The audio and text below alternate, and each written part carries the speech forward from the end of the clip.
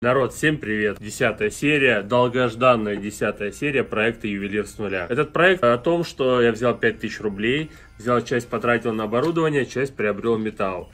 И так я двигаюсь к своей цели 1 миллион рублей и хорошо оборудованная мастерская до 31 декабря 2020 года.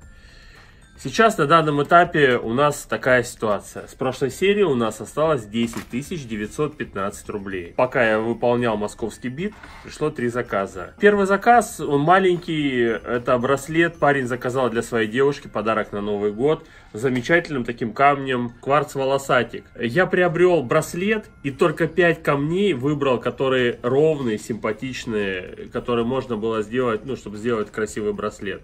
Это будет вставки лисий хвост и вот этот вот, вот эти замечательные камни, ну, как я делал с перламутром. Вот эти будут крупные камни, будет очень красивое сочетание, и я поставлю замок карабин.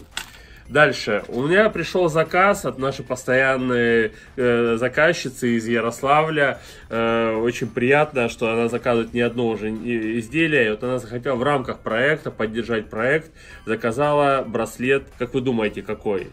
Конечно же, королевский лисий хвост. Собственно говоря, поэтому я и решил взять его, показать, потому что очень интересно, я думаю, вам будет посмотреть на то, как это будет делаться. Сделали мне вот такие вот две проволочки, одну побольше диаметра, другую поменьше. Я чуть позже вам все расчеты расскажу. И клиент заказал для своего сына, ну, видать, сын боксер, спортсмен, московский бит цепочку. Также вот э, пришла вот такая вот проволочка и перчатку. Перчатки я при, приобрел на известном сайте, я не буду вам говорить, это в качестве рекламы, потому что вы можете вбить просто восковки, и первый вот выпадет сайт, вот на нем вы можете найти эти э, восковки, вот этот вот э, перчаток. Они продаются парами, я заплатил э, за эти восковки 150 рублей за пару. Это только восковки. Далее я отлил их, вес их 18,65 грамм. Это на 14 800 рублей. Это я отдал литейщику вместе с работой и металлом. По 80 рублей за грамм. Приобрел вот эти вот камни, вот этот с браслетом 200 рублей. И вот, вот это все серебро у меня вышло 187, 72 э, грамма на 12 200 рублей. Итак, я начинаю действовать. Первым делом я, конечно же, быстренько сделаю вот этот вот браслетик, ну и буду вам периодически частями показывать, как я это делаю.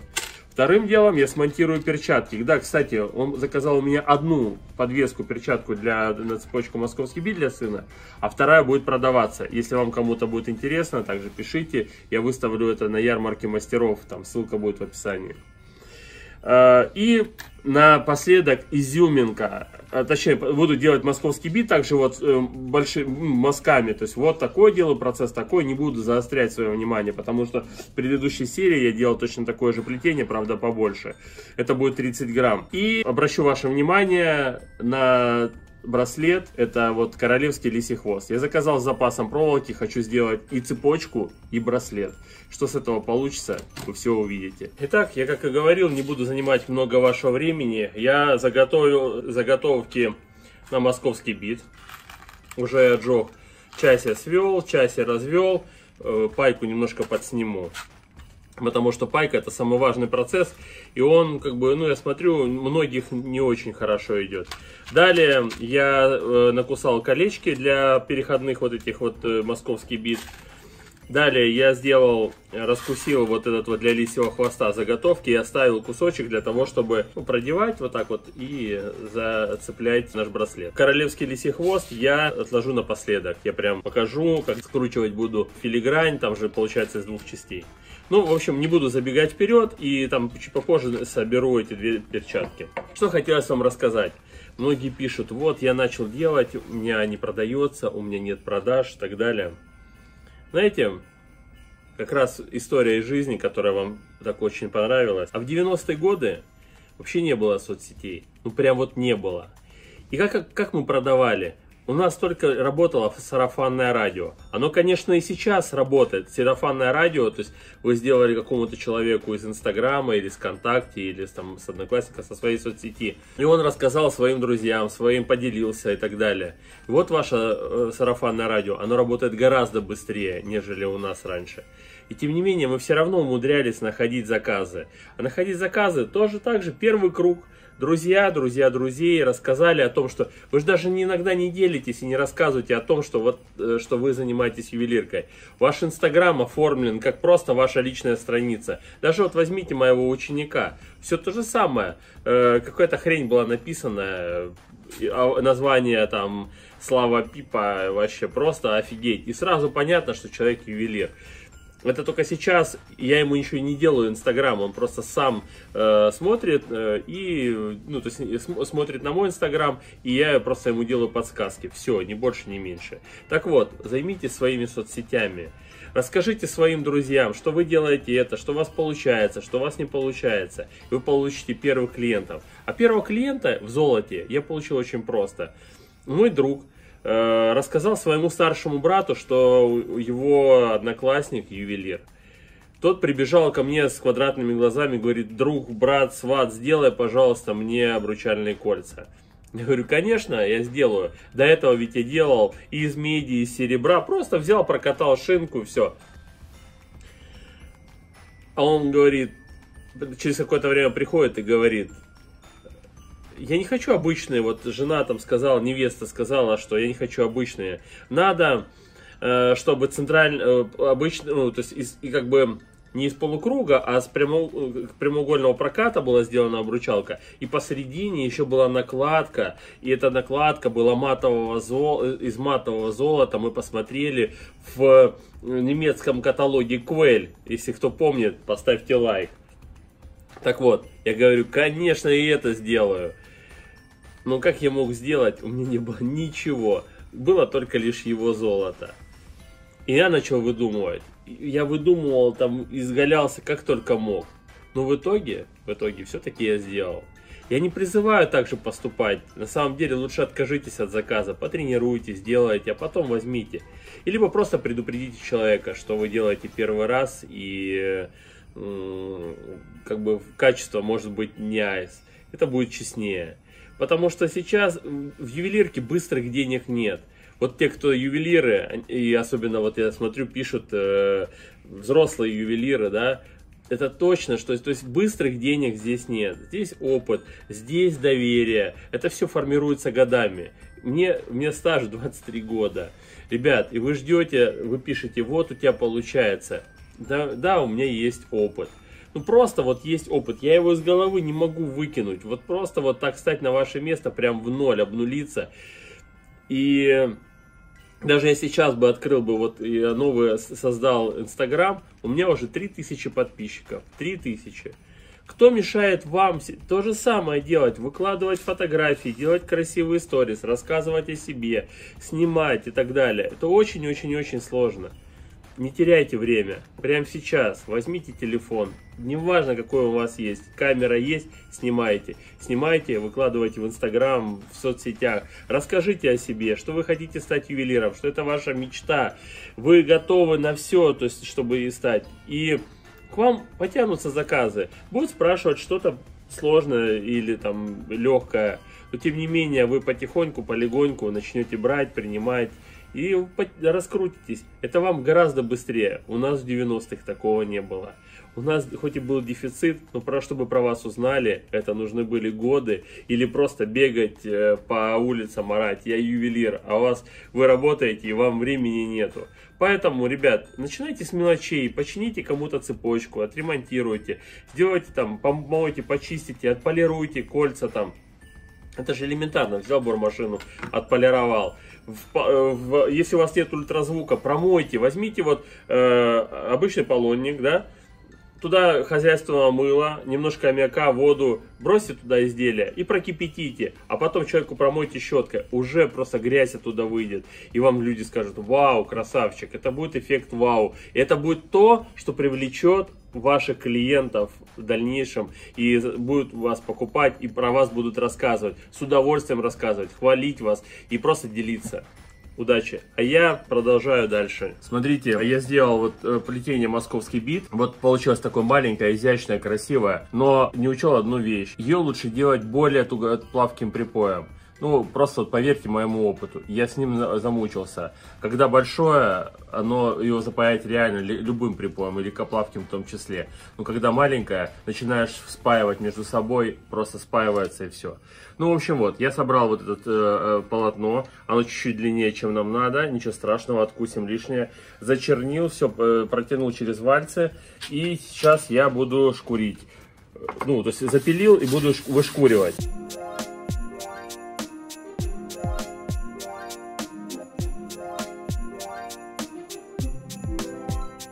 Московским бетон более-менее я разобрался. Потом буду все вместе галтовать, а сейчас я не вижу смысла. Все поставил замочки, все хорошо. Теперь приступаю к самому интересному, что я еще не показывал. Это сборка литьевой боксерской перчатки. У нее остались после литья вот такие литники, которые мы скусываем при помощи кусач. кусач. Раз, два, три. Далее, как мы собираем? Мы пробуем подгонку, да, смотрим. То есть подходит, не подходит. То есть берем, вот, присоединяем и смотрим, насколько зазор большой, маленький. То есть вот я сейчас взял вот эту перчатку, руку, ой, палец вот этот приложил. Смотрю, да, великоват зазор, но все равно припой залить можно.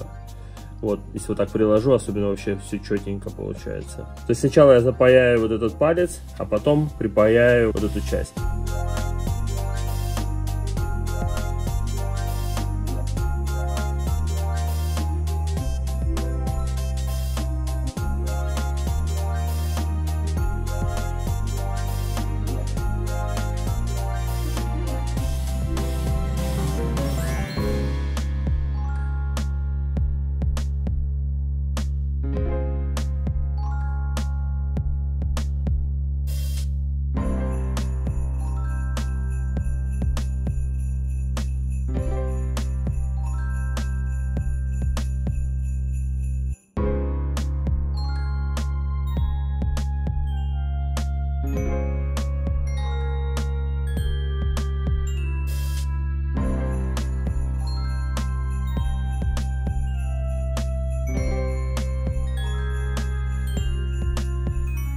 Вот спаял, я собрал две эти перчатки. Одну обработаю клиенту, одна, одна обработана будет лежать, продаваться. Итак, э, смотрите, э, вопрос, откуда взялась вот эта вот ушка. Перчатки продаются в наборе, там такая хрень, как, в общем, они должны, по идее, две висеть вместе.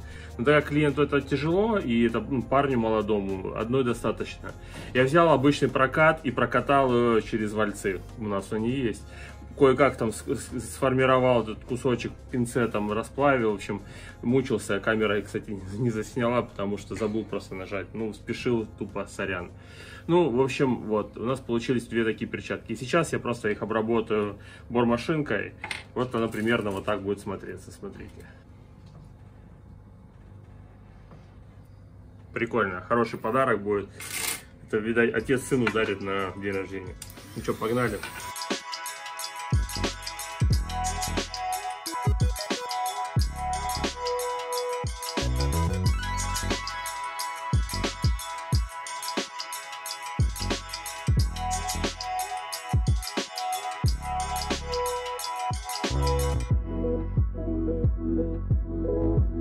Пришла очередь браслету. Я собрал эти звенья, спаял как кусочки лисьего хвоста, как предыдущего, первой или во второй серии, уже не помню. Э нашел камни, вот проволочка, которая я соединяю камни. И вот сейчас уже все припаял, последний штрих. Я беру, загнул петельку, одеваю и закручиваю. Плотно-плотно. Лучше сделать несколько оборотов, чтобы э, держалось очень плотно. Оно не раскрутится уже больше никогда. Далее одеваем камушек. Стараемся максимально то запихнуть. Вот видите? И оно получается, что часть э, петли ушло вовнутрь. И цепляем за браслет.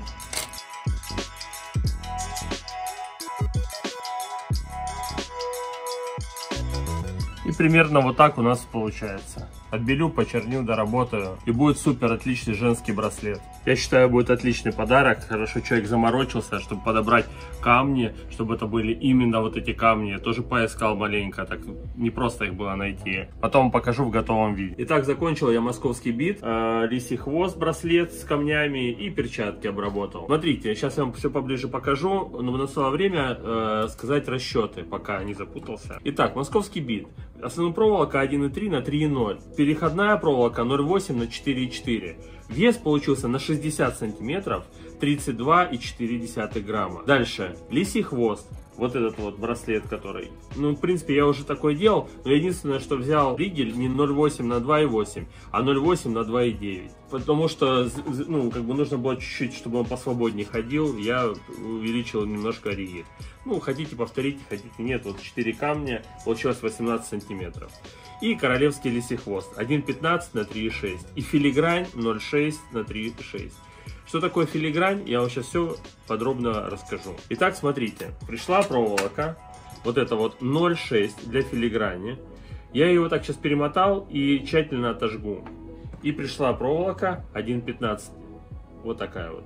Далее я приобрел, не приобрел, точнее не нашел ригель 3.6, я заказал у токаря. Вот одна такая штука вышла, стоила 300 рублей. Что я с этим буду делать? Смотрите, эта проволока пришла отожженная, это которая 1.15. Но я еще на всякий случай еще разочек отожгу. А 0.6 пришла не отожженная. Я сейчас эти проволоки хорошо, тщательно отожгу, отбелю и покажу, что дальше буду делать.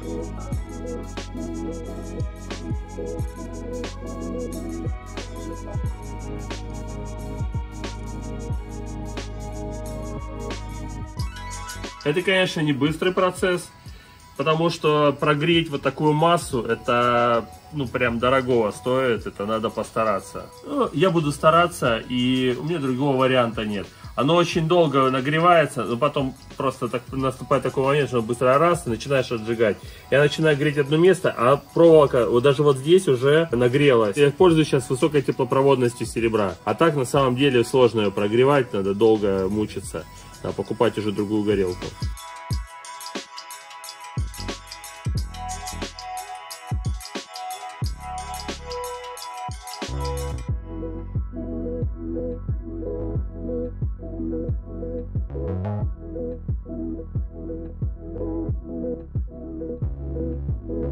Итак, мы подошли к самому интересному. Наша задача сейчас сделать филигрань. Каким образом мы это будем делать? Я не нашел видео о том, как это делается, то есть вот поискал в просторах интернета. Я покажу вам, как делаю я. Я взял просто вот самый обычный, я не знаю, какой-то гвоздь делаю из него крючочек. Для чего крючочек, вы в дальнейшем поймете. Ну, примерно вот так, это не важно, просто нужен крючочек. Я беру этот крючочек, зажимаю в патрон шуруповерта. Далее, я беру нашу проволоку, я сейчас не буду вот отматывать всю, потом я просто буду делать, конечно, длинную, за что-нибудь пытаться зацепить. Я сейчас возьму небольшой кусочек, отмотаю и покажу, как делаю я. Ну, примерно вот такой. Складываю пополам кончик, зажимать нужно, ну, либо в тисках, у меня нет тисков, я зажму в вальцах.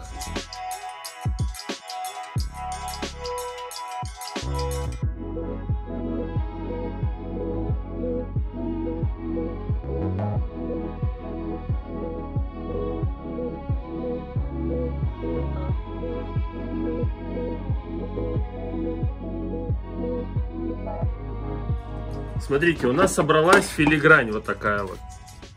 Дальше мотать опасно.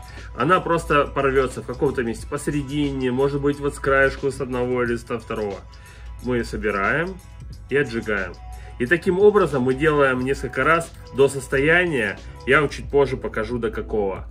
Вы пока можете тоже, если вы делаете подобные вещи, 0,6 проволоку, мотать в филигрань и попробовать, ну, попробовать сделать, понять вообще, что это такое. Тут главное чувствовать металл, чувствовать саму проволоку. И дальше вы просто вот отжигаете, наматываете, нажимаете, отжигаете, наматываете до состояния такой плотно сбитой пружины. Я тогда сейчас пока все вот вместе начну наматывать, потому что это не быстрый процесс чтобы не занимать ваше время, процесс вы смысл э, сам уловили, а до какого состояния перед намоткой на ригель я вам покажу. Ну что ж, смотрите, я докрутил. Получилась достаточно плотная намотка. Конечно, может быть для филиграни она не подойдет, эта намотка. Она может быть слабоватая, можно и сильнее. Но для королевского лисьего хвоста самое то, уж поверьте. Итак, берем ригель и все то же самое, как с обычным хвостом. Накручиваем очень плотно, очень качественно, виток к витку.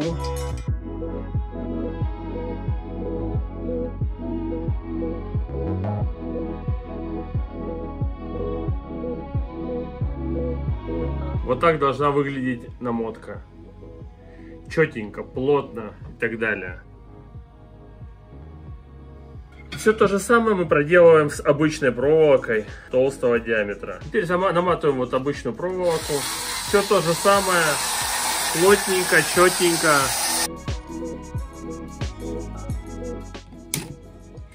Вот это вот так вот выглядит. И теперь уже с этого мы будем собирать наш браслет лисий хвост. Королевский лисий хвост. Я знаю, что это будет красивое интересное плетение. И теперь я просто раскушу эти все ну, звенья и спаяю, как обычный лисий хвост, тот, который вы видели.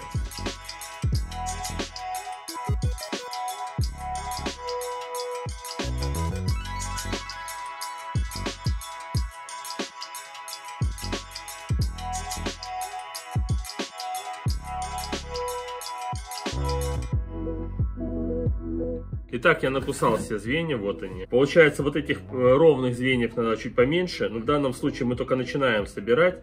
Я их сделаю две штучки. Раз, два.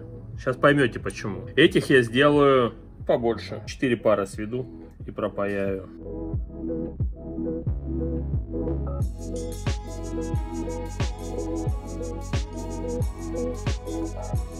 Теперь мы выкладываем на кирпич наши звенья и пропаиваем.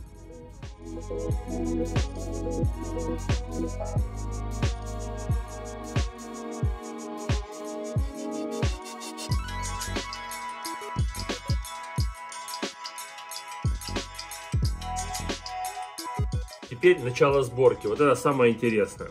Мы берем, которые э, с филигранью звенья, разводим и также собираем. Сначала закладываем туда два звена, которые из цельной проволоки, а далее закладываем два звена из филиграни. Раз, два. И сводим колечко. Выглядит это пока вот так. Заводим второе парное колечко. Мы же помним, что у нас все парные звенья. Раз. За цельный зацепили свели. И подпаиваем.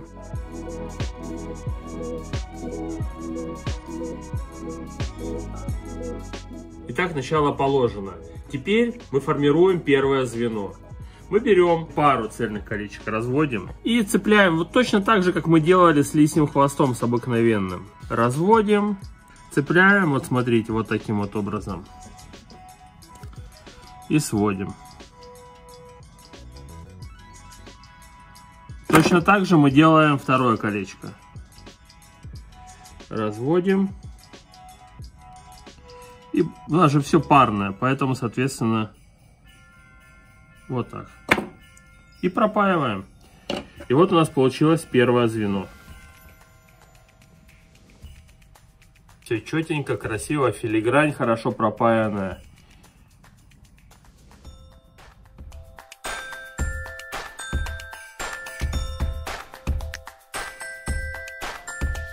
Теперь следующее. И таким образом мы делаем все то же самое, только не забываем, что у нас есть э, филигранные, то есть нам нужно чередовать, не забывать чередовать филигранные звенья и обычные звенья. Ну, э, и, ну, и с ровной проволоки. То есть получается два филигранных зацепляем переходными цельными звеньями из цельной проволоки. И вот так вот вы потихоньку вот два одели, переходным потом перецепи, перецепите именно цельными звеньями.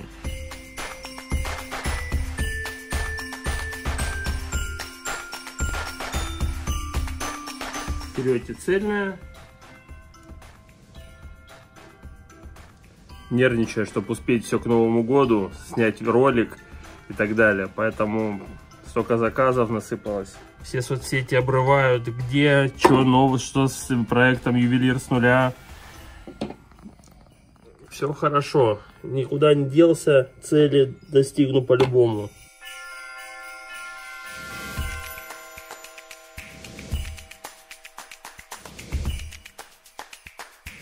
Итак, вот вы продолжаете, собираете шаг за шагом. Это кропотливая работа, это ювелирная работа. Здесь очень много пайки. В этом заключается учеба. Вот я советовался со многими с ювелирами.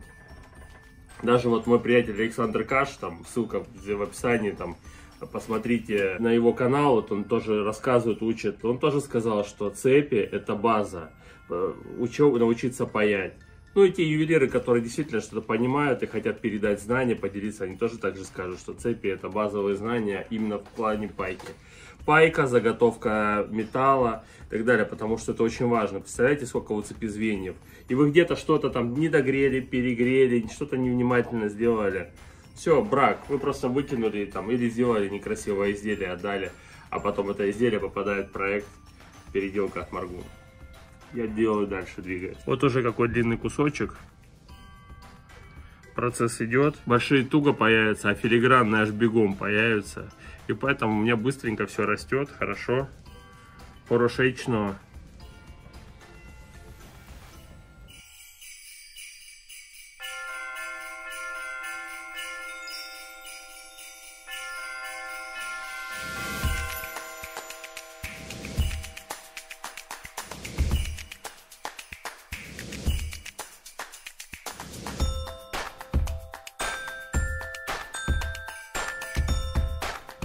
Червяк уже. Вы давайте тоже паяйте, учитесь, тренируйтесь. А я дальше собираю. Бегом-бегом заканчиваю, чтобы в новом году меньше долгов было. Смотрите, я собрал браслет, уже все полностью готово, зачернил его, там, отмыл. Сейчас, конечно, надо будет еще там маленькой содой потереть. Сейчас его нужно располировать, чтобы вот чернота вот это выделила рисунок.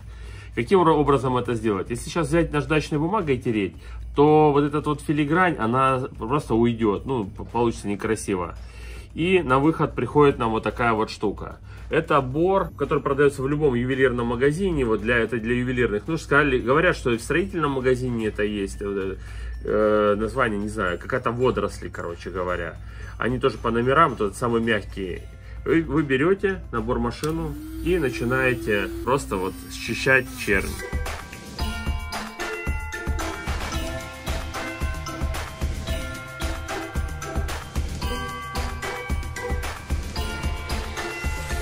Таким образом счищаете только чернь. У вас остается четкий рисунок, который вот виден, и вы не, ну, вот, саму филигрань не портите. Поэтому вот рекомендую вот такую штуку. Но если у вас нет, то возьмите просто обычную наждачную бумагу и точно так же просто возьмите раскройте. Только сильно не трите и возьмите там, например, там 800 или 1000, чтобы не сильно повредить вот саму филигрань. И таким образом вы получите такой браслет, который будет черненный и красивый рисунок. А я дальше снимаю и начну там потом буду полировать, э, вот, тоже бормашинкой и покажу вам потом готовый результат.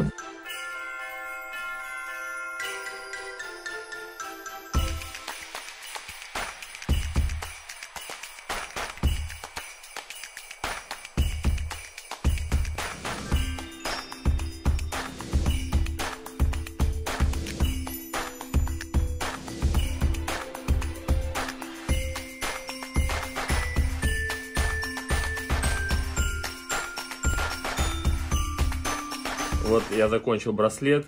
Я считаю, что это офигенная альтернатива. Если вот сделать это цепочкой, то классная мужская стильная цепочка, которая ну, на каждом углу не продается и не каждый делает. Просто есть она трудоемкая, и поэтому, соответственно, ну, проще сделать обычный лисий хвост, нежели вот заморачиваться с этим королевским. Итак, наша любимая сейчас подошли рубрика, это денежки. На остаток последней серии, на девятой серии было 10 915 рублей. Получил заказ браслет кварц, который вот он я выполнил, 2000 рублей. Королевский лисий хвост 3740. Московский бит и перчатки 9500. Э, доплата за московский бит, вот эту толстую предыдущей серии, мне доплатили, доплатили 1700 рублей. Это просто за разницу металл. Я, кстати, ошибся, мне остался 60-граммовая цепочка, а дал 65, потому что нужно было ему именно 65. Вот эту вот разницу, там 20 с лишним грамм, он заплатил 1700 рублей. Э, и серебряный якорь продан 7860 рублей продан на ярмарке мастеров. Ссылки будут в описании. Отличная площадка, причем женщиной, которая вообще не знает, кто я такой, кто такой Маргун ювелир и так далее. Просто увидела красивая фотография, четкое описание и приобрела. Там же был приобретен цепочка плетения Витязь 11600 рублей. Итого 47 315 рублей. Далее я потратил. Купил перчатки лосковку 150 рублей. Отлил в серебро и отливку я заплатил 1480 рублей. Купил серебро для того, чтобы сделать э, лисий хвост, московский бит и так далее. Заплатил 12 200 рублей. Камни для браслета э, кварц я заплатил 200 рублей. Я купил браслет, разобрал его, и только лишь 5 камней оказались. Все остальные бракованные, то царапина, то вмятина, то не круглая, то не отполированная. В общем, 5 бусин осталось. Сделал 4, один отдам на замену, мало ли там расколется или еще что-то. Просто человек потом приедет, я ему поменяю. Пусть у него хранится, чтобы у меня не потерялось. Я приобрел замки, вот такие вот карабины по 200 рублей, 3 штуки. Поставил, значит, на на, браслет, на этот, на лисий хвост и на цепочку московский бит для под перчатки. Далее я купил ригель 3,6. Э, Заказал вот э, у токаря, вышло 300 рублей. Купил болванку, он мне сточил ее до 3,6 на замоскворецком рынке. Помогли, спасибо. Я приобрел боры, вот то, что я вам показывал, вот эти боры для, э, где-то второй валяется, для того, чтобы снимать вот чернь. Э, одну купил вот такого цвета, другую зеленую. Чем, чем они отличаются? Говорят, зернистостью, я не знаю. Кто знает, напишите в описании я не очень силен. Вообще очень классный сатиновый цвет получается. Вообще даже мысль такая есть. Взять там, например, там тот же шапарт, сделать цепочку, зачернить и вот просто снять вот этим сатином. Такой офигенный, вот я попытаюсь вам как-нибудь показать цвет. Такой, знаете, как нежный шелк ну, мне очень понравилось. Попробую для эксперимента сделаю. Вот, э, я заплатил 50 рублей за две штуки, 25 рублей за штучку. И за, за московский бит, который вот 100-граммовый, вот 124 грамма я делал, ну, с предыдущей серии, я отдал 590 рублей за э, отправку. Итого я потратил 15 620 рублей. У меня в кассе на данный момент 61 695 рублей. Далее, у меня осталась проволока, накрученная под вот этот королевский московский бит. Я не стал сейчас в этой серии делать, не успеваю.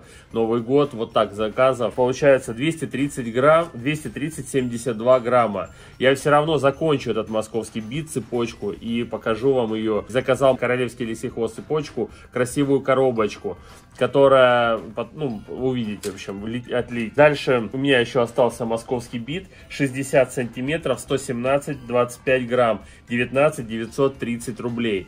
У меня к вам прям предложение. Предложение действует буквально до Нового года. После Нового года это будет уже не актуально. Я ее готов продать за 15 тысяч рублей. Просто хочу вот к Новому году показать вам весь инструмент, подвести итоги и вот, э, чтобы у меня какая-то была сумма. Дальше, э, и у меня осталась перчатка. Вдруг кто там боксер, другу боксеру подарок. Вот такая вот перчатка замечательная. Три с половиной тысячи рублей весом 9,93, 10 грамм. Все, ну, то есть сам делал, вы же видели. В общем, вот. То есть, собственно говоря, вот с чем я и остался.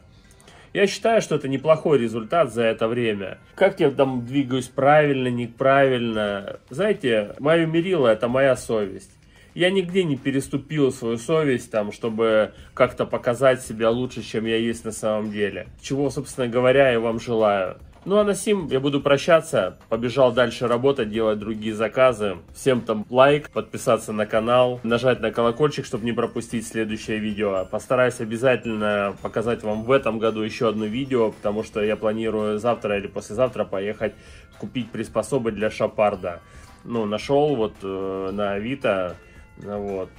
Я надеюсь, что к тому моменту, когда выйдет ролик, не все побегут смотреть на это приспособленное Авито. Я уже куплю и буду потом показывать, как я делаю шапарды. Ну, естественно, коронная фраза «Будьте чуточку добрее».